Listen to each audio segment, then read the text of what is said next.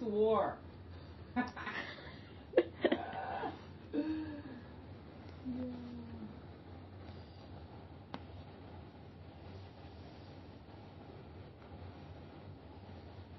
So, in terms of the consent form, the goal overall is just to get your perspectives with Mhm. online teaching, your experience. I know MCCP has some online courses or some Mhm. content delivered hybrid. And the goal is to see what we're finding in terms of like the review of the literature is that the actual technology and its functions doesn't super matter when it comes to acceptance of technology. Okay. It's more like the behavioral pieces and like the social influences and like the cultural pieces that matter. Mhm. So there's no right or wrong answer. It's just your experience with teaching at that level. And I'm specifically looking at graduate school. Okay. So I'm not going to name the institution, Mm-hmm. not naming any of the participants, so you can try, we can speak freely as much as makes sense. And if at any point you feel like you don't want to answer anything or you don't feel like you have an answer for anything, that's okay too. Okay. Are you comfortable with that? Yeah. Okay. And then you can always email me the consent form when you get to sign it. So, I know you have many roles. How would you describe yourself as a leader in terms of being the program director of MCCP? Hmm. or in any of your other leadership Yeah, roles? no, let, if, if I think it's just easier for me to stick with one. Yeah. So with MCCP, um,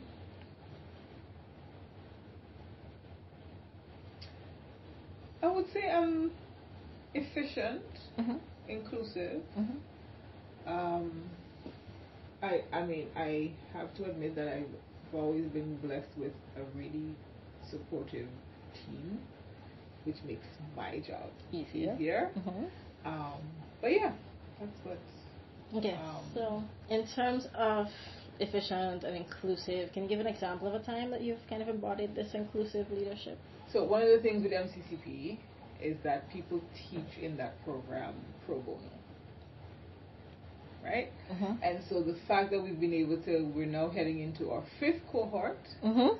Means I've been really good at convincing people to give back. And I think I've, I've found that everyone really who teaches in the program, they are committed to building capacity, psychological capacity in the in the region. Mhm. Um, and quite frankly, I've used that as the way to say, hey, yeah. Um, but interestingly, again, I haven't had to go back to the same people and, and, and get their recommitments for another year. It's been Just a pretty Okay. seamless, yeah. Okay. pretty seamless That's nice. So. So, when you think of leadership in the context of leading a successful online program or a hybrid program, Mhm. what leadership characteristics do you think are particularly important in that context? Being flexible, Mm-hmm. um, which is something I struggled with when we had to pivot Mm-hmm. to online teaching during the pandemic. Because when we developed the program, I remember um, Dr. McPherson asking me, is there any part of this program that you would like to put online? Because I mean, MBA had it, all of the others. And I'm Mhm. like, ah, nope. we need this to be hands-on, in person, Mhm. fully immersive. And then COVID said, "Oh, really?" And we had to make that shift. Mm-hmm. Um, so allowing persons, I, I worried. I understood why we had to do it. Obviously, I'm more than happy to do it. Yeah. But I worried then whether we were providing the same quality Mm-hmm. of instruction Mhm. as we did with In the person. previous cohorts in person. And to be honest, the that particular cohort, because they would have had one year in person, Mm-hmm. one and a half, no, one year, Yeah. just about, and then had to pivot online. There were some courses that, because they lend themselves to in person, Mm-hmm. like for example, assessments. Mm-hmm. Psychology wasn't, we weren't doing assessments online. Mm-hmm. If you're giving, if you're doing a psychological evaluation of a person, uh, any a neuropsych eval, the person had to be there, right? Right. Um, having said that, and for obviously for that cohort, we had to delay their graduation date Mhm. because again, in terms of practical placement, Mm-hmm. can Right, because was like a, a general emergency situation kind of happening Right. in the world. So that had to happen. However, since then, obviously the field of psychology has caught up. and so one of the good things that came out of that is that then the subsequent cohort, they were able to get training doing assessments online, Right. Teletherapy, so Mhm. providing psychological support online, because that's not going anywhere, Mhm. right? And so it worked out for the good, but Mhm. at the time it was happening, it was like, Very stressful. yeah. So when you had to be flexible, how did you kind of demonstrate that flexibility to your faculty who are teaching, who are probably in the same mental state of Yeah. distress as everyone else? Um, and yeah, I mean, we had to have a we had a conversation and Mhm. just talking about whether because I think everybody was kind of worried about oh my gosh the quality, what mm, and it was saying okay, let's if if we need to extend, if it means that we need to extend the term so to speak. So for example, the spring term, if we need to pull in some weeks from summer, then we then we do that. Mm-hmm. And also letting them know that it is okay. Also, Right. if they needed time, Mm-hmm. to give the class, well, if you use because I remember there were a couple of courses that kind of gave the class almost like a week or two weeks off Mhm. because they faculty was also struggling with Yeah. this, right? Um, and you had families, you had online school at home with the kids and, and stuff like that. So just kind of giving them that space to first take care of themselves. Because again, I had to be mindful that they were doing this out of love and passion Mm-hmm. for the field, and so um, yeah, and I mean it worked out pretty well. And even even now, so now, even though we're back in person, we still have courses that are being have a hybrid Yes. hybrid model. Yeah. Okay, so that was really helpful for the context. We're going to talk a little bit about the effort involved in Mm-hmm. offering it in that format. So, what skills or factors do you think play an influence in your effectiveness as an online course instructor? Keeping students' attention. Okay. For me, I get such. I pull my energy from the people in front of me. hmm and that for me was such a challenge online. It's like, how do I? Because I also know I zone out. when we used to have these online meetings, I'm like, okay, I'm just supposed to hop on a meeting. Let me put some clothes in the washer. I my my my attention was divided. Yeah. And I wasn't um, fooling myself into thinking my students were, you know, Mhm. fully engaged inside that screen. um, so I, I felt that I had to be more creative Mhm. in terms of holding their attention, Mhm. but also understanding that if somebody needed to be off camera, because again, we were all in our homes Right. at the time, um, and not participating as they probably would Would have. Um, and I tend to, my style typically would be to poke at people, kind of call on you if Right. And I had to resist that on, in the online when we, especially when we In the just initial, started. In the mhm. initial, yeah, because I recognize that hey, we're all trying to kind of figure all this. Um, but yeah, that. Okay. So, can you describe the initial steps of transitioning um, to online teaching? And I, I know some of that would be the emergency pandemic piece, but also kind of post pandemic when you decided to keep some of the online components. So post pandemic, um, the reason why we kept some of the online um, parts and kind of created hybrid courses, again, some faculty moved, Mm-hmm. and so they're in other countries, but still wanted to contribute. Um, and I'm going to say again, free. So I wasn't about to say, oh no, sorry, thanks, I'm going to look for someone else. No, because, you know, Mhm. um, they know what it is we're trying to accomplish. So that's one of the reasons why we also kept that hybrid model. Mhm. Um, so faculty availability and and also the feedback that we got from some students is that in terms of that it also gave them a little bit of flexibility. Mhm. So you may have had you know you have a student who's living in the north of the island Mhm.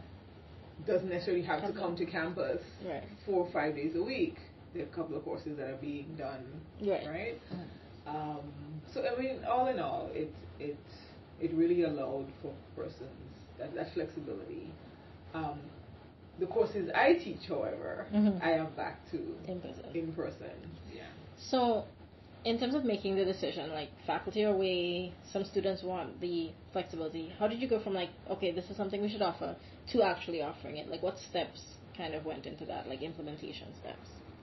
Had a conversation with School of Graduate Studies because Mhm. at the end of the day, um, the program does fall under School of Graduate Studies. And I remember Dr. McPherson again asking the question, coming back, and it was, it was almost like tail in. Yes, Dr. McPherson, we are going to do a hybrid model.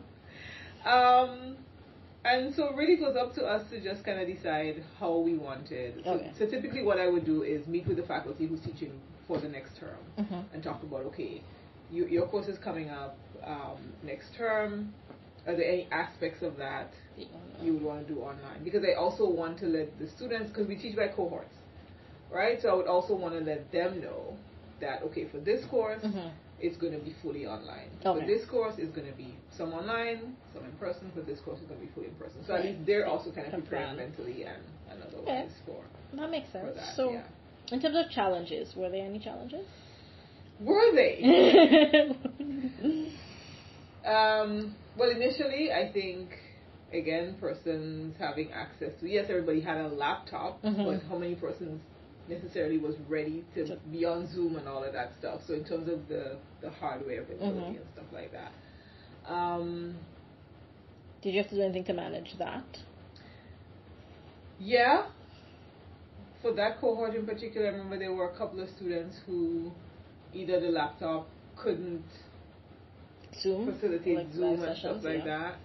that. Um, and so it was, but but I have to say, you know, that cohort in particular, they really supported each other, and so they were able to. Okay, so Donna can't can log in, but I'm gonna take notes and whatever. And then Okay. we were recording as well, Right. and then posting it on Sakai. Okay. Um, yeah, so that that was one of the challenges. Um, and I think just for the faculty in general, being able to, especially like I said, the assessment piece, that that part was a struggle. How did you how did you manage and navigate the assessment piece? It was. I remember uh, Dr. Lat. So basically, she would be on Zoom Mm-hmm. doing an assessment. Mm-hmm. and it was yeah. Um, and then I'm trying to remember how we did it with the students. So they would have still had to find somebody, Oh, okay. right, to practice on. But initially, because of the issues we were having, Mm-hmm. um, we did allow them to practice on each other, which typically Okay. we don't Okay. allow. Um, but once we came back in person, because remember for that for that cohort, their timeline was extended. Yeah. So once we came back in person, we had a lot of practice Okay. happening, and then during their practicum, we had to make sure that they were getting more practice with those assessments. Yeah. And so, how do you do it now in terms of that piece? Is that piece offered in person? No, so here's the thing. It, it's both now. Okay. We have a hybrid because Dr. Blackman, one of our stalwarts in neuropsych assessment, she's Mhm. in Kenya. Mm-hmm. Um, but she's still providing, and again, because like I said, psychology has caught up also, so a lot of the assessments now do have Yeah. a virtual modality for um, for administration. Um, yeah, so as, as horrible as the pandemic was, Mm-hmm. I think two two good things came out of that. Teletherapy, Mhm. one, um, allowing persons to be in their own space, um, being more comfortable, Mm-hmm. um, and giving you the flexibility. When you think of barriers to accessing care, what if it's that I don't have money for a bus fee to come all the way to Right. St. George or whatever? That was no longer an issue. What we had to do though was basically educate clients on um, the expectations. So Mhm. it can be we're providing therapy and a relative passing, and you're like, hey, come meet me, and Right. right. So it was finding a quiet place Yeah. to still have Yeah. therapy, but um. Oh, something I just remembered. Mm-hmm. That semester, the students had to do a health behavior intervention, Mhm. and again, that's usually in person. But they got so creative because they, they all they all had to end up doing it online. Because I Mhm. remember for one particular um, group, um, they were doing it with a, a church, Mm-hmm. and you remember churches now also were online.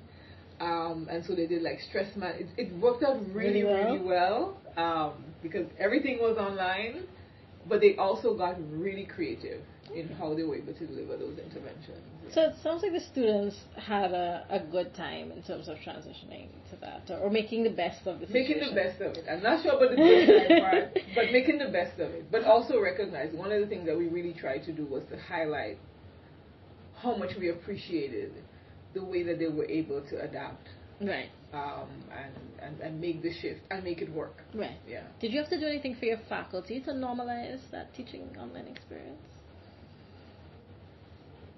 I don't think I did anything intentional other than having that initial, this is what we're doing. Mm-hmm. But it, like I said, if you needed to take the time, if you need a couple of weeks You to kind of get yourself sorted, if we need to extend the, the, the term by a couple of weeks, then we do that. If if you needed to, um, because again, the registrar, I think, I mean, everyone was in adaptability mode, Mode. right? So even if grades had to be turned in, you know, when Yeah. they take uh, incomplete for that term, and then Yeah. we, you know, you know, so we had that flexibility. But I don't remember us being intentional, really, Okay. about yeah. So, in terms of, you mentioned not really having a budget for this, but everybody's kind of voluntarily Mhm. doing it. Did you have to do anything to get buy in for them to want to opt into the online format in particular? No, I think everybody recognized that this is what we have to do. I mean, Grenada was closed. what about now, like, po- like you know, when some people have returned in person? even with the online format? Yeah. No, because again, I think it comes back to having that flexibility. Um, there are still a couple of courses that, one course in particular uh, with individual behavior therapy, Mm-hmm. that was fully back in person. Mhm. But what I asked that the, the faculty who in charge of that course to do is to still illustrate how teletherapy can be done. So then that way we don't lose that component. So Right, It is so now part of that syllabus. Yeah. Okay. Yeah. Were there any other stakeholders, like graduate studies, or anybody that you had to get any kind of buy-in from in that decision? Nah. I think they've been pushing that for a while. So COVID helped with that. I have to say that they were also very supportive. That he, that you know Dr. McPherson and his team would they checked in Right. pretty regularly is there anything that you need? Is there anything that yeah? So we we got um, we definitely got support from them. And actually they the way that we track our hours Mm-hmm. Um, is a you know software that we use time to track. Mm-hmm. Um, and so because we had to extend the students' timeline, it was an expense that we hadn't obviously budgeted for, and graduate studies stepped in Okay. and took care of that. So yeah, we That's definitely nice. got the support. Yeah, yeah. So, in terms of teaching online, like offering this program online as the program leader, what specific tasks are you responsible for? How do you make the magic happen? Um, okay, be a little more specific for me. Okay, so an example might be uh, having to contact ECT or anybody. Do you have to get, you know, any special permissions or like in terms of a semester starting? Mm-hmm. Do you have to get any special software, hardware? Do you have to request anything, or is it the sim- similar to the way you would Yeah, it is similar to the way we, we did it before. So Okay. it's, it's really just like I said, checking in with the faculty to see, okay, how would you like? Right, so it's like To the communication piece is Yeah, the primary yeah. thing. Okay. Yeah. Um, what kind of changes Mhm. were required in the culture of the program in terms of the faculty, like that group, Mm-hmm. that little department in that sense? What kind of cultural, ch- how cultural changes were required as you shift from being in person, being used to seeing students Mhm. and connecting with them, and then shifting to online? Were there any changes there? I don't know. I think everyone just kind of struggled with the engagement piece Mhm. with the students. Mhm. So I remember that coming up in our end of term meeting that term. Just like I felt some students, you know, persons would say, yeah, you know, X person kind of. I, I, I don't feel that they were connected as Yeah. as before. Um, so we were all kind of struggling with with that piece. Um, but I mean,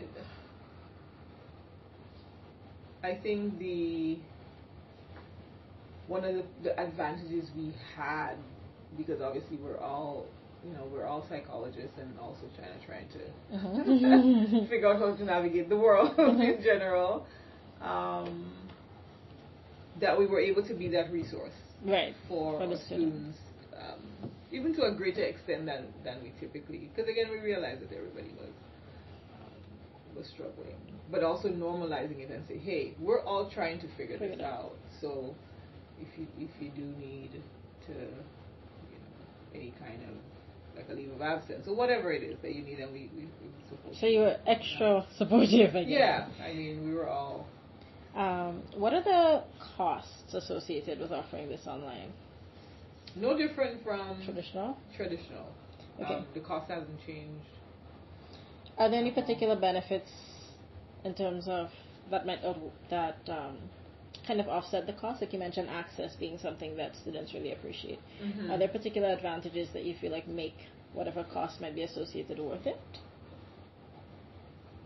I mean, to the online piece. Yeah. Well, I mean, I think for students, the ex- expense maybe that comes with having to be on campus. Okay. Um, And then you And get to reach the faculty as well. and I get to reach the faculty wherever they are. Um, and then it'd be interesting to see because I know that really made a difference. The last semester, for example, they have 350 hours of practicum. Mm.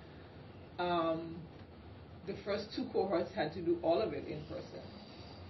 Whereas post COVID, for example, those who have like a full client load from Ministry of Social Development, hmm a lot of that could be done at home. Right. So not having to Right. be meeting clients, you know, all over. Um, what is another thing that we? Oh, we got we, we provided phones. We provided Ooh. cell phones for our um, for students on practicum. Wow. Right. So because again, you didn't want to you, you wanted to make sure any barriers that persons have to get therapy hmm because remember this is we're trying we- we're, we're providing this hoping we can help persons who normally wouldn't be able to hmm access care right um, you didn't want it to be a case where I can't call because I don't have credit Right. so it was the psychologist in training doing the calling so Ah, okay. we give them phones and put the credit Okay. on there and yeah That's nice. So when you think about the effort in terms of, you know, like getting phones or trying to be creative with engaging the students, like all the things we discussed, did that impact or does it impact your willingness to offer the program in a format that's hybrid? I'm, I'm much more open to it now Okay. because now I see one the benefits um, on both sides because Mhm. as, as, as we mentioned as we discussed being able to access the persons who want to help us with this program or faculty wherever they are Mm-hmm. um, but also just kind of reminder how we can we can pivot we can adapt Okay. so yeah I mean there's no going back from this now Okay. it is going to be hybrid So Yeah. you mentioned graduate school being very supportive. I'd like to talk more about support, but Mhm. how do you identify areas for development for your faculty related to online teaching?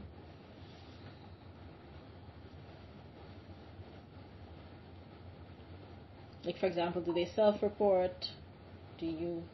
It's so yeah. So I haven't been intentional about Okay. that. So if a, a faculty member would reach out and say, okay, I'm having problems with X, Y, and Z, then we Mhm. problem solve.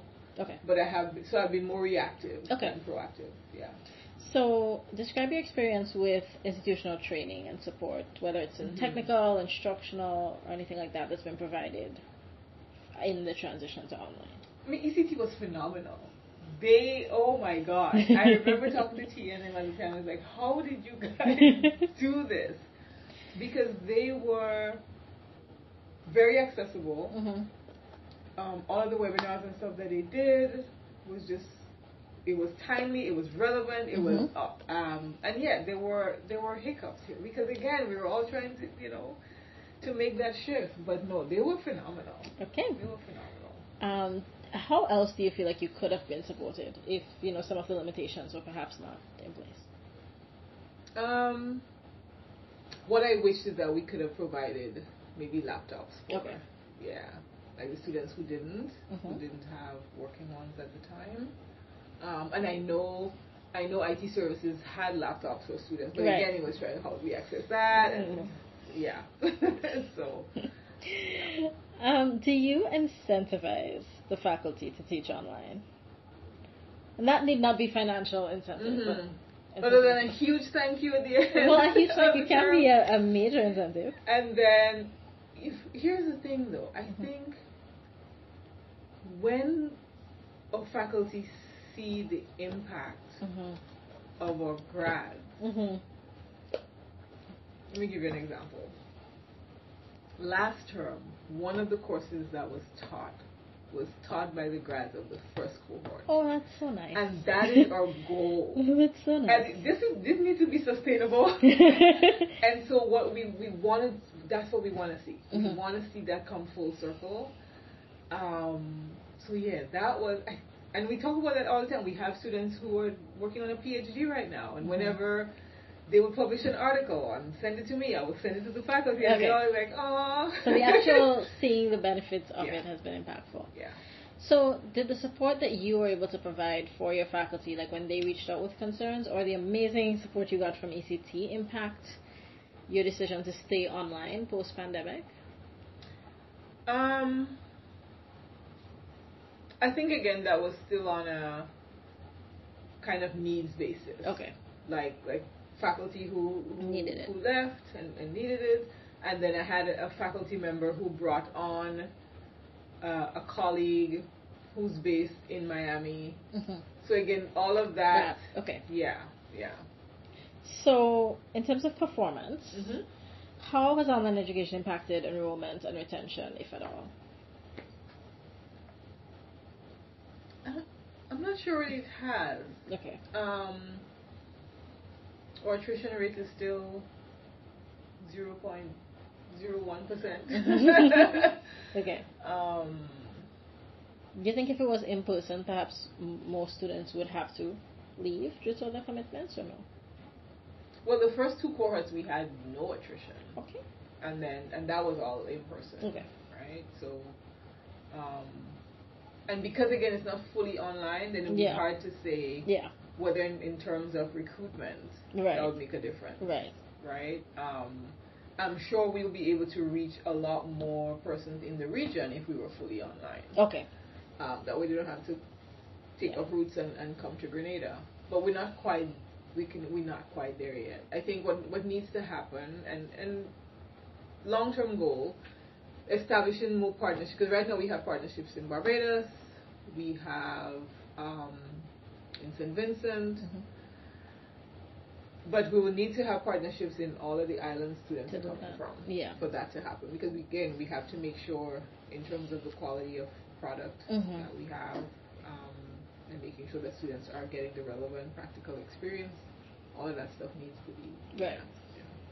So, what factors impact student satisfaction in your program? Um, we do so. Here's we, we do an exit interview with each student Mm-hmm. once they've completed the program. And what one of the the common threads that comes out is that they feel that they've gained not just professional development but personal growth. Oh. And that but that but that was intentional. Yeah. That was we built that in Mm-hmm. to the program. Um, because walking out of this, going into providing psychological support for others out there, you gotta be in touch with yourself a bit. and so, um, that's one of the things that, that always come up. Like, Okay. so appreciative of, yes, I'm walking out of a degree. I feel that I now have the skills to do this, Mhm. but I also feel that I've worked on myself. Okay. One of the things we also do is that we make a commitment to provide clinical supervision two years post graduation. Oh, okay. Again, faculty. So, I guess my question is Has there been anything from those exit interviews that have, like, student feedback that's then caused any program level changes? Yeah. So the first cohort, the way that we were offering a couple of the courses, they suggested that it would have made sense for this to happen after that, Mm-hmm. and we made that change. Okay. Um, and, and and students who took it after can't even fathom any other way. okay. Um, there was something else. There were a couple of things, but yeah, we, I mean, we look at we look at the, the student feedback. Okay. And it is their experience. What we also do, we, we have a mentorship program, right? So when you enroll in the program, you then connect it to somebody who's been there, done that. Okay. So, So that's nice. Yeah. So they're very supported. Yeah.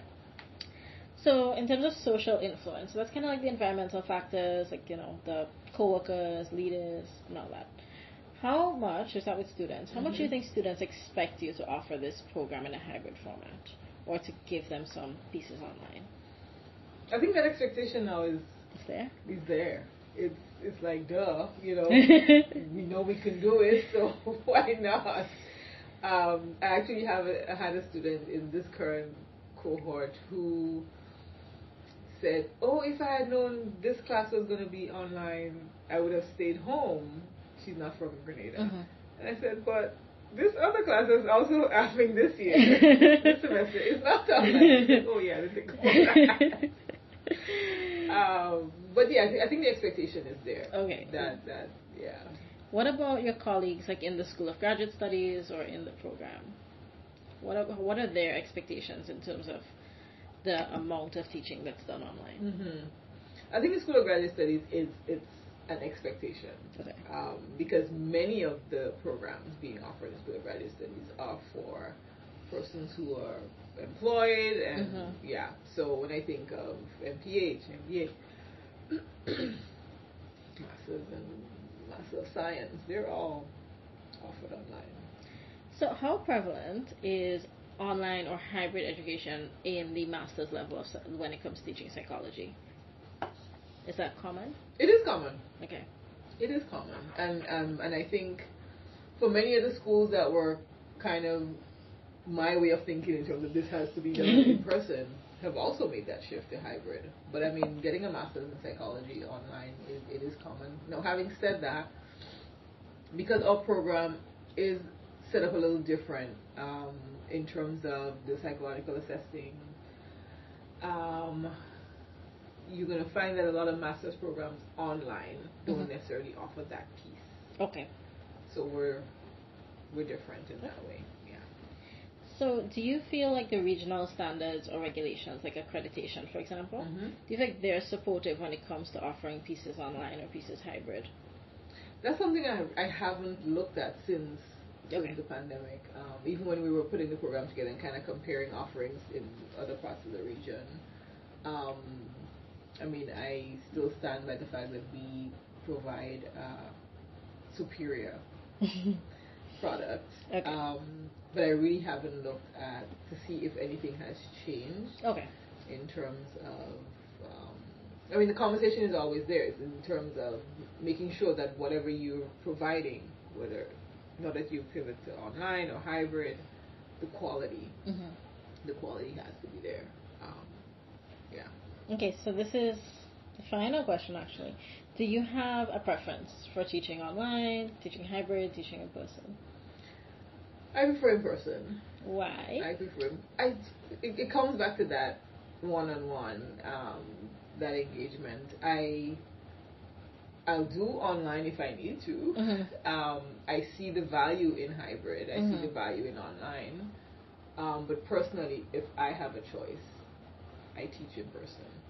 Um, just to change a little bit, in School of Medicine, when we had the option of the persons who wanted to return to campus and teach, hmm even be, I was ready because I was sick of being at home. Um, kind of everything happening at home. Mhm. Home needs to be that. There needs to be that demarcation of Mhm. what where home is and where work is. hmm Um, so even if, coming back on, so even if we, we were online, but I was teaching from here, made Mhm. a difference for me Okay. because here this is work, Right. right? Um, but I was also glad to get back in front of the front of the classroom and yeah. Okay, so based on everything we discussed, do you feel like Mhm. there's anything that you wanted to say or add to the conversation or to these pieces, or do you feel like you've, you've covered No, I think we've I think we've covered it. Okay, so thank you very much. I'm going to stop the recording.